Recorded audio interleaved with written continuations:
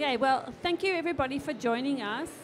Um, this is an event on sustainable capacity development. Um, it has a particular fo- focus for the Sahel region. And one of the things I wanted to talk about is the successes and the challenges that we have in sustainable development um, and capacity building in the Sahel region. And my background is in isotope hydrology. I manage the water resources program at the International Atomic Energy Agency. And what we do is we use isotopes to look at the movement of water through the hydrological system. And we use these techniques to build a picture of the water resources in different areas and to understand how we can use water sustainably, um, particularly as climate change starts to bite and we see movement and changes in the way in which water is distributed. When we use isotope hydrology, one of the things that we want to do is we want to transfer this technology to different countries to allow them to adopt the technology and better manage their water resources. But there are a number of challenges um, in doing this, not just in the Sahel, but in, in all areas around the world. Um, sometimes um, technology uh, serves a good purpose, and sometimes it can be difficult to adapt depending on what the circumstances are. What I'm, I, am I'm, I'm joined here today by three people um, who also work in capacity development, in sustainable water resource, but in different areas and different aspects. Um, so I have um, to my um, immediate right, I have um, Stefan uh, Uhlenbrook, who is the director of hydrosphere, water, and cryosphere at the WMO. Next to him, I have Christoph Henrich who is a project management officer in the Technical Cooperation Department at the International Atomic Energy Agency. And next to Christoph is Elizabeth Carradine, who is currently climate advisor to the UN Office of the Special Envoy for the Horn of Africa, where she works on peace and security management issues where she, but she has previously been in the Sahel region, and many of the issues uh, between the Sahel and the Horn of Africa are very, very similar. Um, so what I'm going to do is I'm, I'm going to start with Henrik. Um, the reason is that at the International Atomic Energy Agency, whilst we spend a lot of time developing scientific technology and innovations um, to help us manage water resources, we also need to transfer these technologies to member states, and that happens via the Technical Cooperation Department um, at the agency. And they, uh, they work with the department that I'm in, the Department of Nuclear Sciences and Applications, to help bring these skills um, to, uh, to countries that need to adopt them. So I'm going to hand over to Christoph to say a few words about how the Technical Cooperation Program works um, and how this helps to build um, capacity development. Thank you, thank you, Jody. Uh, very glad to be here. So, um, if it comes to capacity development in uh, this area, and actually uh, overall, when we look at how technical cooperation in the agency works, is I would say that one of the unique um, uh, features of our assistance to member states is that we are really, and that is not only looking into water areas, but also in the other areas, that we are really looking into building up the capacity in the country in order for them to sustainably operate these technologies going forward. So what we are usually avoiding to do is to uh, outsource any um, uh, expertise uh, expert assignments, publishing of reports, but we rather really want to focus on building up this expertise in the country so that optimally the, the country, once it has received the capacity, uh, take, picks up this knowledge and applies it sustainably in its, all, uh, in its own operations. Now, of course, this is uh, a challenging um, work because all of us working in the development sector and uh, looking into um, sustainability issues of uh, development operations know that, um, that, that this work is uh, not easy in order to achieve actual sustainable impact. And for example, uh, when we when we want to when we look into isotope hydrology and uh, want to disseminate this knowledge in into the in into our member states, we first have to actually work on improving the knowledge uh, that these techniques exist. Because even among expertise, um, among experts, um, it is not often well known what these technologies and, um, um and technologies can bring to the table in order to actually uh, help countries to understand their resources better. And once you have this knowledge that you can generate by using these technologies sustainably, hopefully, in your own operations, um, it has to be ensured that um, this information is actually being picked up. Being picked up by the governments, uh, either in shaping their national policies or um, by other development actors that are designing water projects in that area. So um, events like this one here can of course help to sort of disseminate this knowledge uh, among the international community, but also governments have to increasingly be made aware of um, this, uh, um, this intersectoral and uh, interconnected uh, work, which is very challenging uh, to do so. And uh, thirdly, we, we, have to, um, we have to further increase technology exchange and uh, capacity building and utilizing their particularly um, regional, uh, regional expertise. So in regions that we work that share similar problems, share similar capacity issues, but also the same development issues or similar development issues, to ensure that these countries start collaborating and actually, maybe by the facilitation and support of international organizations, um, but not or bilaterally help each other and increase their capacity. So that uh, once this information uh, that uh, is being produced uh, by these laboratories, uh, for example, that also um, have to be able to ensure that they are actually uh, working sustainable and actually that their work is being meaningful and being picked up so that they are actually being contracted later on. So um, I think one important uh, statistics I wanted to say as well is that we had looked into this isotope hydrology linked to policy making and uh, uh, in in other regions where um, where um, for example, a significant uh, low amount, like not even 20% have stated of the counterparts that we have asked, have stated that they are regularly using isotope hydrology for policy making. So there is lots of work to be done, uh, not only on the national but also um, on the regional and international level. And uh, I believe uh, capacity building has to continue and continue and continue. Thank you very much, uh, Christoph. Um, I think some of the points that you make about policy are really important. Um, that we can develop a lot of technology, we can emphasize science and its importance, but we need this taken up at policy level, at government level.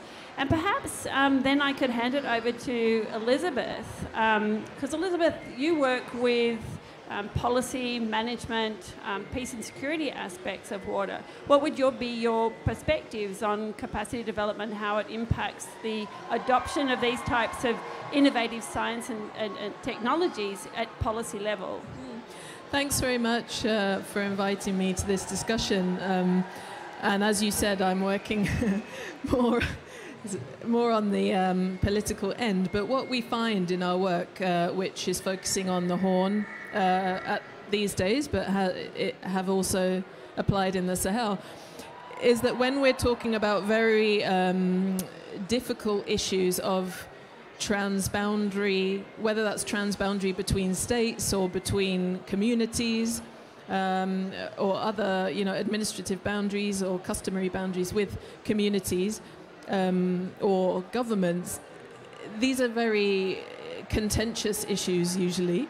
Um, these are systems in the Sahel, for example, that are under various kinds of stress, including climate change, but also, you know, rapid social changes, not to mention conflict and insecurity. So, what we find very much in our work, in the in the more on the peace negotiation or uh, side, is that the technical entry points are the ones that are the most effective. So when we want to to start having difficult conversations, we find the technical counterparts, whether they're in government or communities, who can start to discuss what evidence do we have about the resources? Do we know, uh, you know, anything about the extent of either groundwater or surface water resources? Do we know much about the use? The answer is usually no, but you usually do find very good technical people uh, in all these contexts, but with limited technological capacities, like like you're saying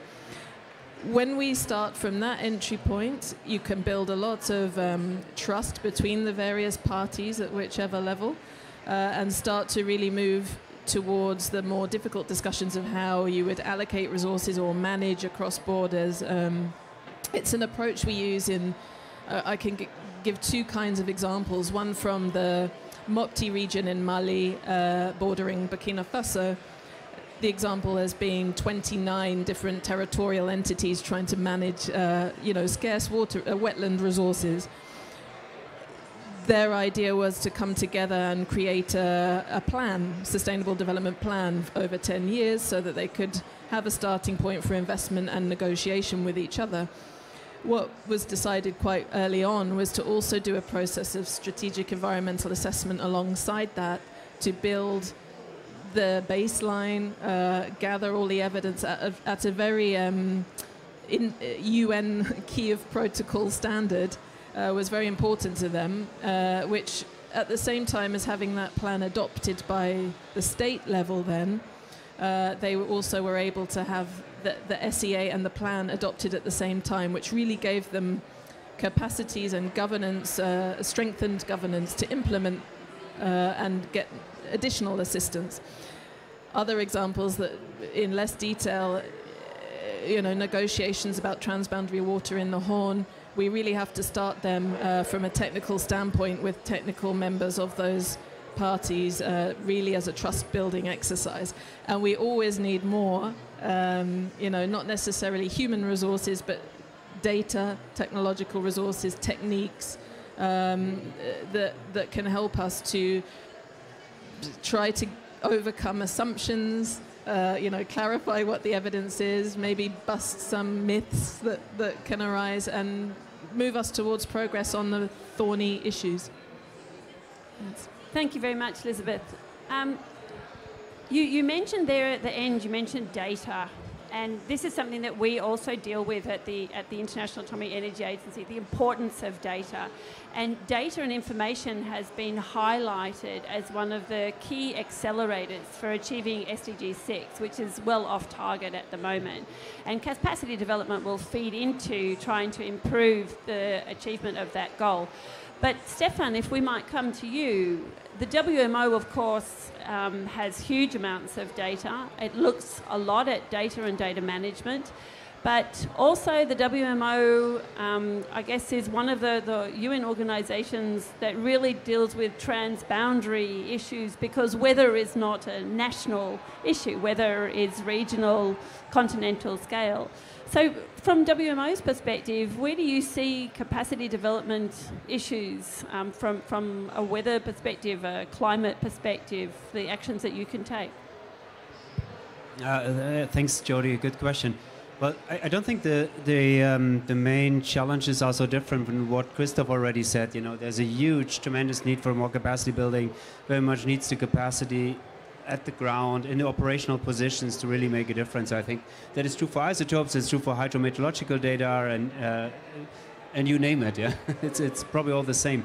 Uh, at, at, WMO, what, what we are doing, um, I, I, would like to report one example, which I, I, think you want to have the main focus on the Sahel today, and. Um, what we do in the Volta Basin, which is a basin, it's a transboundary river basin, which is shared between Ghana as most downstream country, but then Mali, Burkina Faso, a bit of Ivory Coast, Togo, and Benin. A, a, a little bit. I um, did I say Niger already? But so it's kind of really a transboundary sharing of of hydro of, of meteorological data is challenging but often possible. But sharing of hydrological data is often very challenging in, in many parts of the world.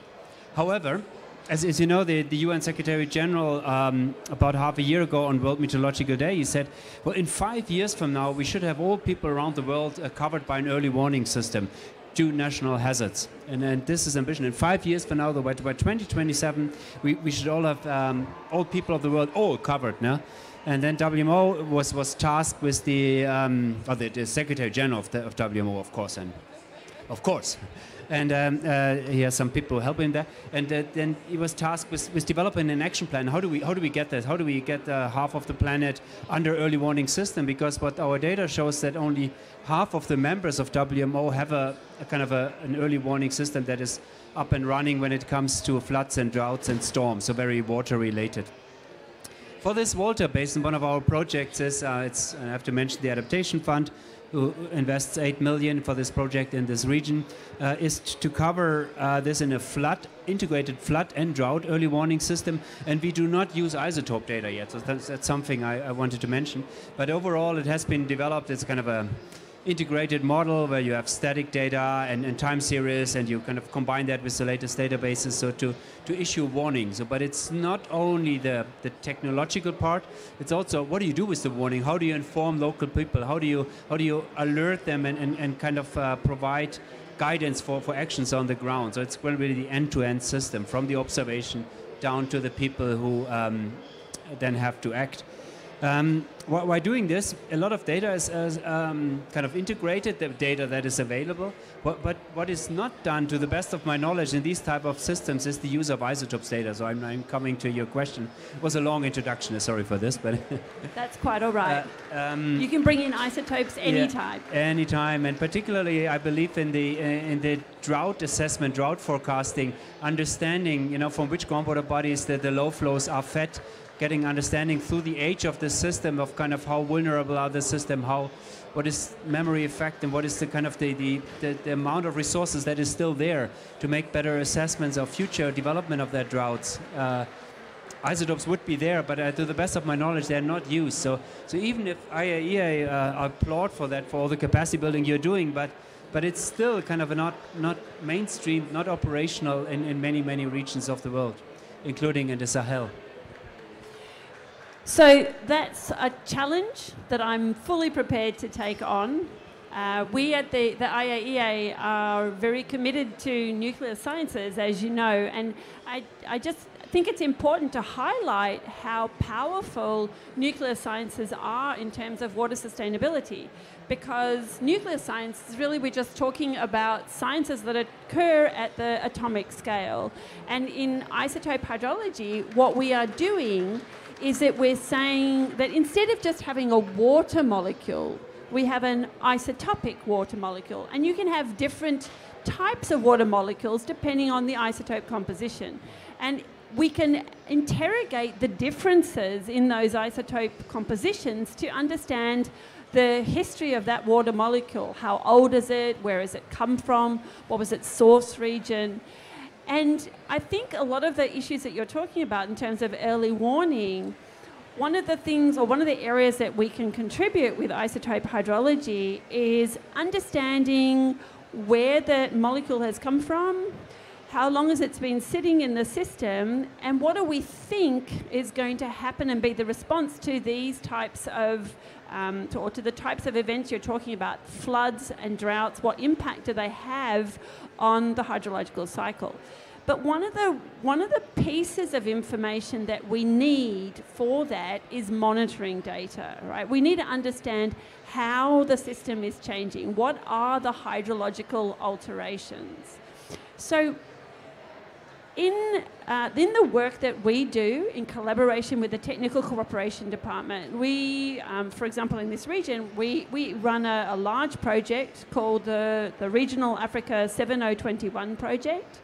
And as part of that project, we are supporting capacity development by investing in students. We are funding MSc students, we are funding PhD students to learn about isotope hydrology techniques, to learn about the science, how it helps with water management. And hopefully, those people who have that strong technical background will go on into the policy framework, the government framework, and help to bring the science into the mainstream. But let me just ask you a, a question with a slightly different focus. When we support those students, they need to go out into the field and they need to collect a physical sample. With the WMO, as you're saying, with, with improving meteorological records, a lot of the focus of the WMO has been on automation of information. How do you think that intersects with capacity development? Because from our perspective, say for example with isotope hydrology, a lot of it is based on physically doing something with a student, with them collecting a sample, with them learning techniques, and then building up this capacity and sending it through the system. But what happens, what are the consequences, for example, of automating these systems so there's no longer a person who physically takes a sample? Putting you on well, the spot there. Yeah, yeah, no, no, thank you. Very, very good question. I, am sure it depends on what type of isotopes are we talking about. If it's stable isotopes of, of the water molecule, that that's easy. Like that, it, taking a sample is relatively easy. You need to protect the sample from evaporation, as you very well know, but it's not, it's, it's, it's not so difficult. Huh?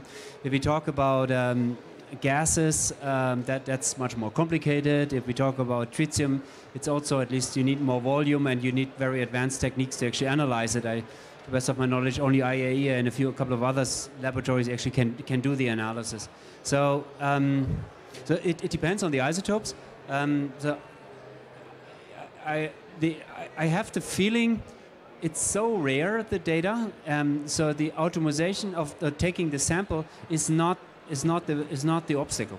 I think it's the knowledge, it's the less the, the lack of investment into these uh, data sets. Anyhow, if, if we get people interested in the data, if we see, if, if, we, if they understand the usability of it, if they understand how much it can help them to, to actually predict, you know, so much water is still somewhere in the catchment because we have um, water of, of I don't know pre-season or, or, or kind of paleo groundwater whatever. So so really get, getting a better understanding of the physical system and, and appreciating that then then we also find somebody to take the sample I believe. So I, I, I don't think that the optimization of sampling is I would think is not the biggest uh, obstacle but it's more kind of mainstreaming that into our activity so it's kind of maybe you have a good ally now at the IAEA, somebody who has some isotope hydrology background, but also working at, at WMO um, maybe together we, we can make a difference and, and kind of get isotope data collection more into the into the operational uh, monitoring systems. Yeah, that's certainly one of our goals. Um, with um, it's interesting that the, the, different perspectives that we have on what are important, what is doable, what is not doable. Um, and this, I, I think, um, comes into the issues of, of, capacity development, what we can and we can't do. And it's interesting to hear the different types of perspectives. Um, if I come back to Elizabeth now, though, um, I know you have some background in water quality, and this is this is a little bit um, uh, uh, different to what we we've done previously. We have increasingly um, a strong focus on water quality because this is. Uh, an issue that we see that has a very strong transboundary focus in it because there are a lot of um, different um, industries that are impacting on water quality as they come through.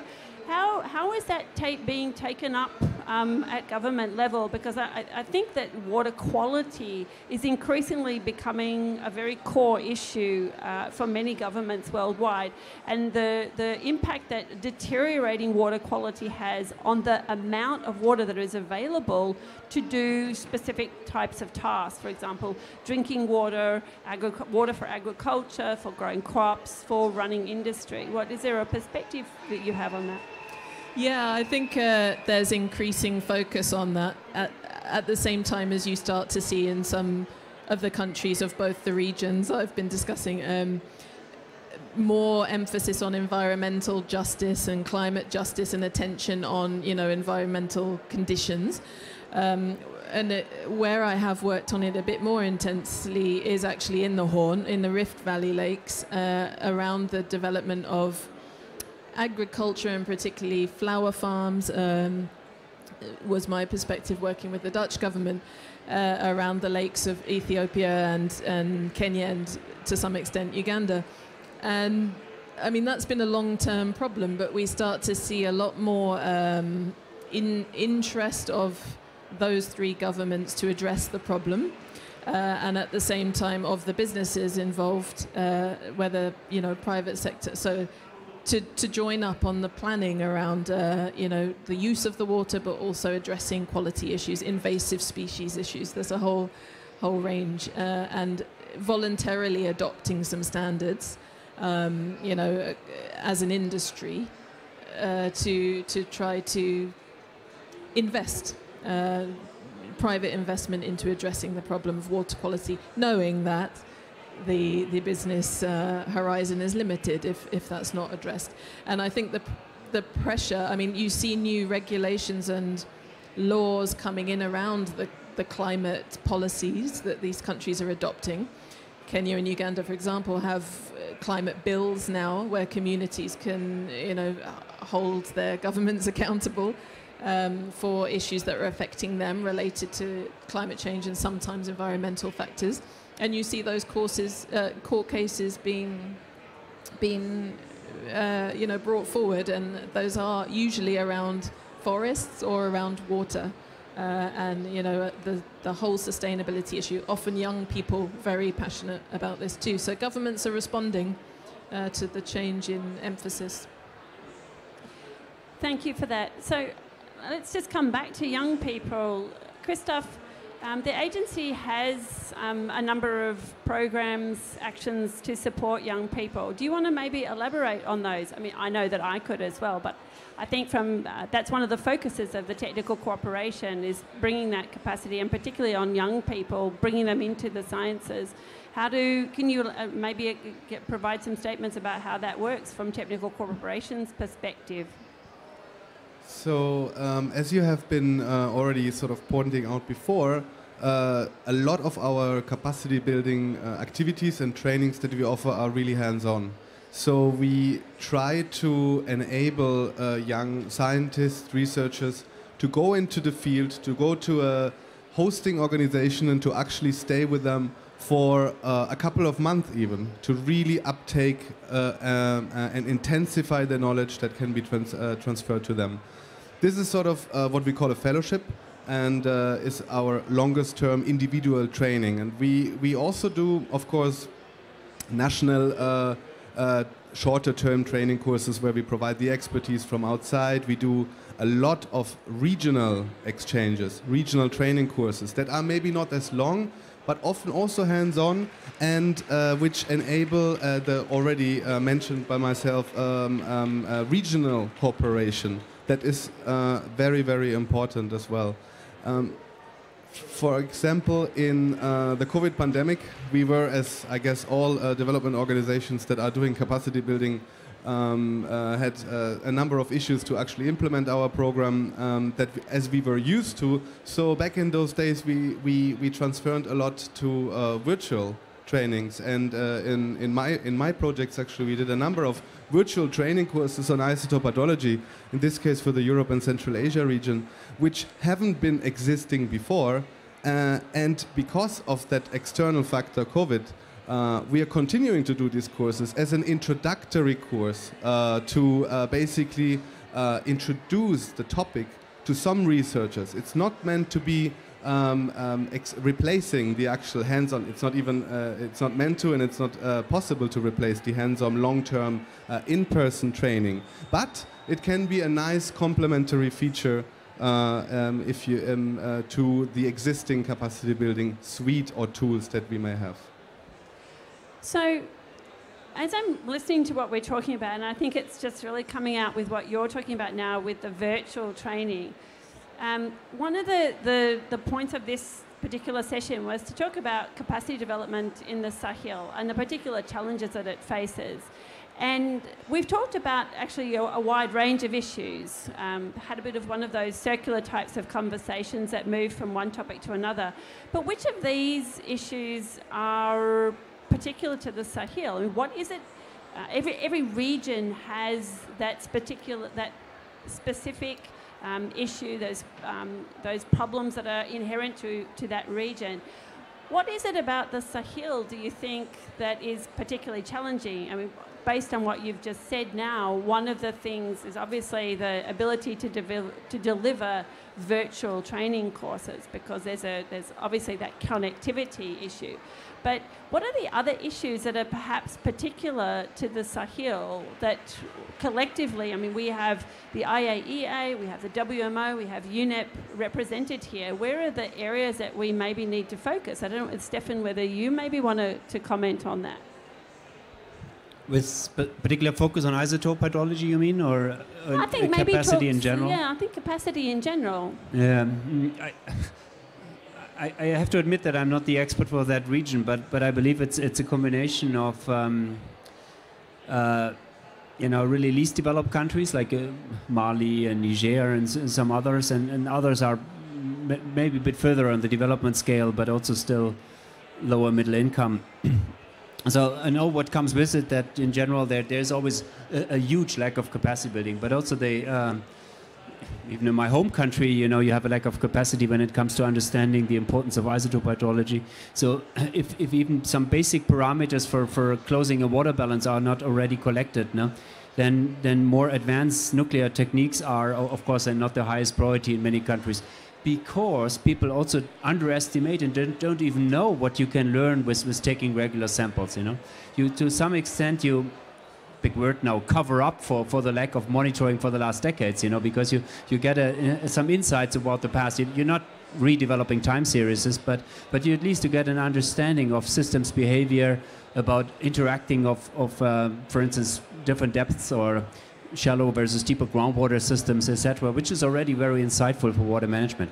So so the, the development scale is one of the things. Then is of course a, a, a language issue, but but that can be overcome. I, I, I, believe with, with the trainers that you can engage, and and, and some some parts of this are Sahel there's also just very serious security issues which. Um, draw the attention to other things than, than studying isotope hydrologies because just you know human security is is already compromised in, in, in many parts as we, as we know so that that does make um, effects of capacity building efforts even more more difficult.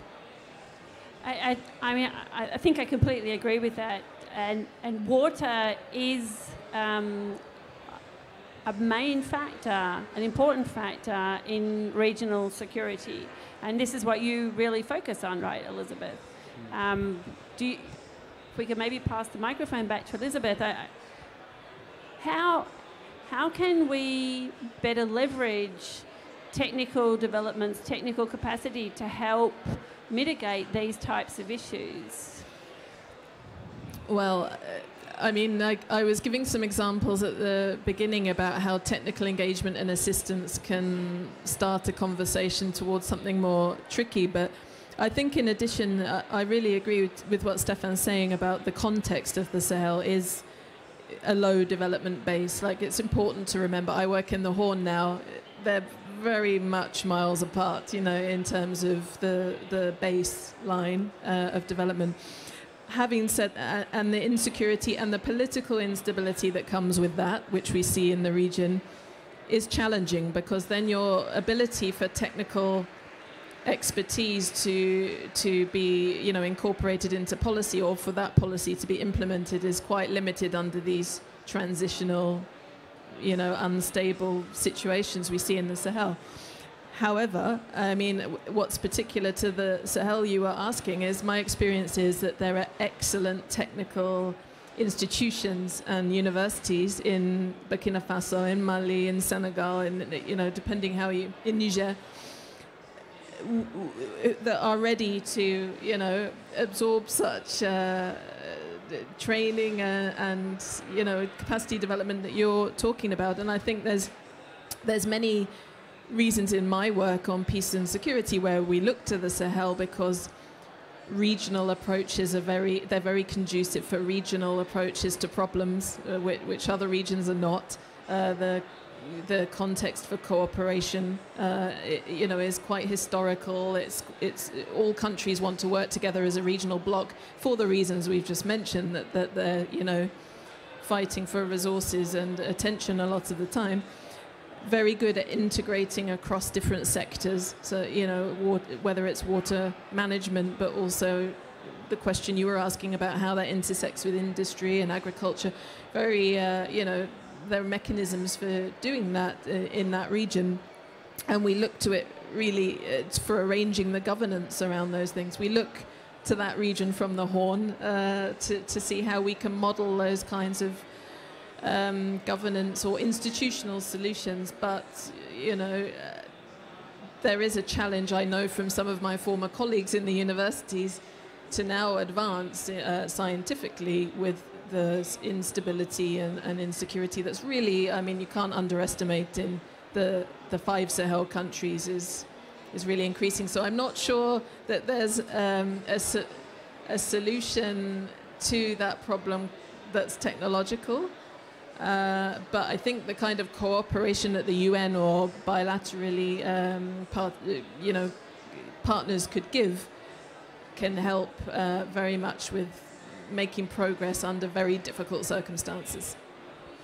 Yeah, I, I see where you're coming from. I think one of the one of the benefits or uh, non-scientific benefits of the technical development that we do, particularly with the regional projects and these new um, type of projects where we invest um, in MSc and PhD students, is building that sense of community amongst the people very early on, um, early on as students, getting them in contact with researchers, um, students doing similar things in other countries, and building a sense of community, working towards common goals. Um, and hopefully, the, the expectation is that those people would flow through down into government and, and move up through government and maintain those links and that sense of community that's not just a local community but a regional community, which I do think that you get within the Sahel. They have this sense of community within the Sahel, which I think is a very um, powerful, a very strong um, um, component of their identity. And, and that's something that we can leverage to help build capacity there. And one of the things I think we at the agency can do is in the context of a regional project, we can look at investing in capacity in regional centres, regional areas, rather than in, in each country. And in areas like the Sahel, which, as you were saying, are a very low development index, we don't necessarily want to be working towards investment in every country. We, we need to be able to spread that capacity and I think that these types of projects that we, we are currently working on, where we bringing these people together in a regional context, we are running regional training courses, are really good at doing that. Stefan, if I come back to you, adaptation strategies. Adaptation in the Sahel, the Horn of Africa, these are important. Um, these are important developments that we need to do to need to bring to those areas. In terms of a, a meteorological perspective, or the, from the WMO's perspective, do you have any insights into what are the core adaptation strategies that might be relevant for the Sahel? That something that we could look at from the IAEA's perspective about incorporating into the, the, the, the work that we do. Mm. Thank you. Am I allowed one more word on the, the regional uh, capacity building? And I'm, I'm, I'm not forgetting sure. the capacity, uh, excuse me, the uh, climate change adaptation um, question. You know, um, in, in, one of my previous jobs, we, we also did um, regional uh, training and bringing people together from, from transboundary river basins. And yes, you, you discuss uh, hydrological modeling, isotope techniques, or, or whatever. It, sometimes it doesn't matter. Uh, it, it, matters in terms of what you want to achieve. But, but one thing which we shouldn't underestimate in these regional approaches, and I fully subscribe to what you said, is you, you bring people together, and it's not efficient to, to have a little lab somewhere, and then people go away, they get promoted, and then instruments are not maintained and, and all these issues. So to, to concentrate this in regional hubs, bring the people there together because they also build up these social bonds. You know, we we did this in the Mekong, for, for instance, with all the lower Mekong countries as well as China, and then after two years of a postdoctoral training on climate change adaptation, it was so normal for them to, from the Chinese to write emails to the, the lower Mekong countries because they, they collaborated with them, they co-published papers with them, and you know they really it's kind of these drinking beer at conferences and all that, which, which really forms a bond and then makes it so much easier to, to you know, to do your best to exchange. Of course, we have to perform in our in our policy settings, but but still, you, you break the ice, and, and therefore these regional approaches are are very useful in, in many environmental sciences. On your climate change adaptation question, uh, when you think about water, we, we are most of us like here as water experts today, and um, if you look at climate change, often there's, there's a kind of a uh, a bit of a bad story about water. Water floods and droughts, they become more frequent and more severe, and people drown, and uh, infrastructure is washed away, and it's all kind of bad, and it gets worse through climate change. That is true. But we have been saying that for how many years now? And, and were we able to really change the dialogue on that? Not, not really, huh? So I wonder if, if we kind of enter into that with a bit more positive spin. From water is a problem of climate change, and water is part of the solution to climate change. And uh, earlier this week, the uh, Water and Climate Leaders, uh, which we, a group that we facilitate at WMO in my, my group, they, they published a statement for the COP. And it's kind of really, it's an, and they call that a change of the narrative on water and climate change or an imperative on that. And, and it's really a much more positive side. So if you invest in water, it really can make a, a, a great, uh, great impact on climate change adaptation. You can avoid tremendous costs. I spoke about earlier warning earlier today. Uh, and the global, what is it called? The Commission on, on Global Adaptation or what? Uh, forgot the exact name, the, the, the guys in, in, in, Rotterdam. They, they made a ranking and, and, and kind of one of the best adaptation investments you can do is early warning systems, they said. So they, they have these multipliers. Every dollar you put in pays back with the uh, power to, uh, with 10 times. So I'm not so sure about these multipliers, of how true they are or sound. But it definitely shows that investments in early warning can really pay back to society big scale. Or uh, investments in water management to make society more resilient. You know, you create jobs through nature-based solutions. You can help capturing carbon in the soil through, through certain water management with combined irrigation, rainwater harvesting, and whatever. So there's a, a, number of techniques which, which are part of the solution. So it's not only this um, this picture, climate change and water is a problem. Is the big problem. It's it's kind of what are the water management techniques that we have available to be part of the solution. And then in climate change adaptation, it's basically water management. It's to a large extent water management. Yeah, I, I think I agree with that. Um, I think there's a there's a lot of people who say that the climate crisis is really a water crisis. It's Having enough water of the right quality in the right area in order to do the things that we need to do, to grow the crops that we need to grow, to have water to drink. So, so understanding how that system is changing, and maybe as you say, maybe we need to think about that in a more in a more positive sense rather than a negative sense. Um, in the Sahel, I know the, the conversation usually is around having too little water all the time.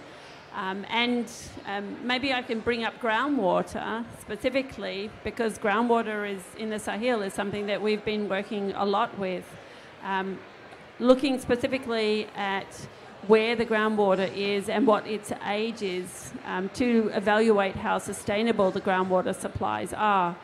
Um, and we, um, we, a lot of the data that we generate there is very useful to help people understand, or different UN agencies understand, where, um, where water is likely to be sustainable and can support development. But also um, in the Sahel, where we have moving people moving from one area to the other, where we have unstable human settlements, um, what the impact on the groundwater supplies is going to be. Stefan, if I, I just want to come back to you straight away because one of the adaptation strategies for climate is groundwater. Right? People become more dependent on groundwater, um, and we use that to support diminishing surface water reserves. Do you think? I know this isn't really a capacity development issue, but it's a it's an issue that affects future um, pop, future um, generations, shall we say? Because do you think that groundwater is a sustainable adaptation strategy? Uh, one of the things that we work with with isotope hydrology, looking at groundwater, is how long it's been there.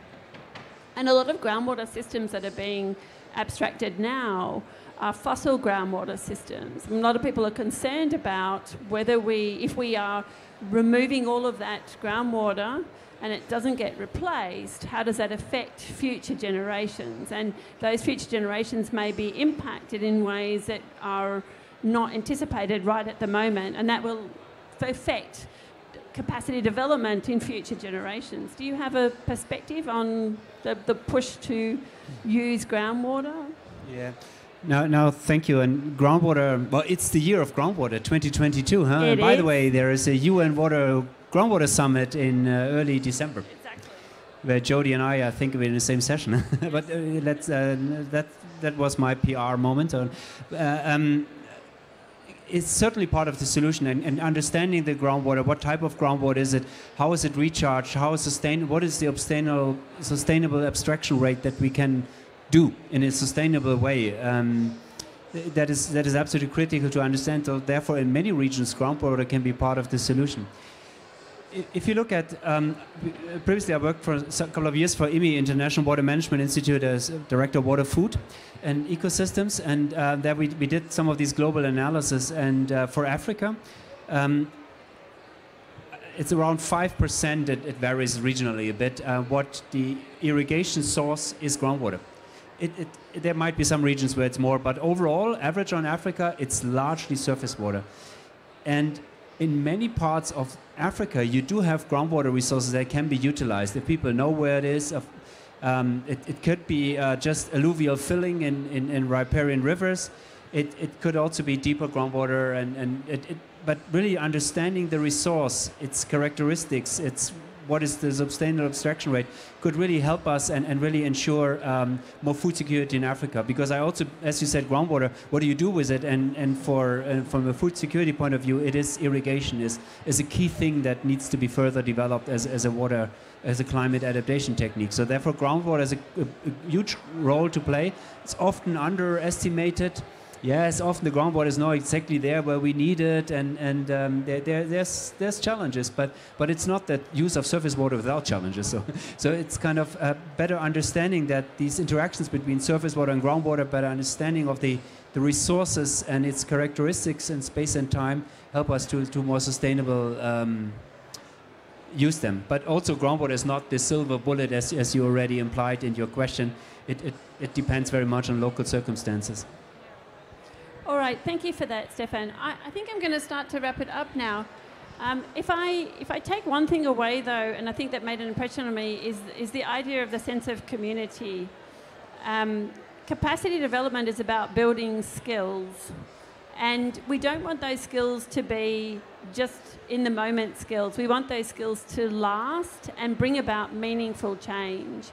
And I think building those relationships and those connections that last a lifetime is a really important way of doing that. And I think that science, from my perspective, and I fully acknowledge that I'm completely biased, but I think science is a good way of doing that, bringing that community sense of community together. Um, I think that many of the issues that we've talked about now are not necessarily unique to the Sahel. Um, some of them are, but some of them are general um, the issues to do with capacity development that we could focus on. Um, and I think if we talk about sense of community, um, also the greater working together and cooperation between our development agencies as well. So if I might say, Stefan, the, the work that you're doing, we do definitely want to bring more isotope hydrology into it and work with you better on it. Elizabeth, would love to discuss more the, the complexities to do with peace and security and the role that water plays on that. And I know that Christoph and I will have many discussions going into the future about how we can continue to build capacity development within the programs at the International Atomic Energy Agency. So I'd like to say thank you for the three of you for joining me and having this conversation, which covered many um, different components of capacity development, both here and now, as well at the end there, looking towards the future. Um, and I look forward to working with you uh, in the future on water projects. Thank you. Thank you. Thank you very much.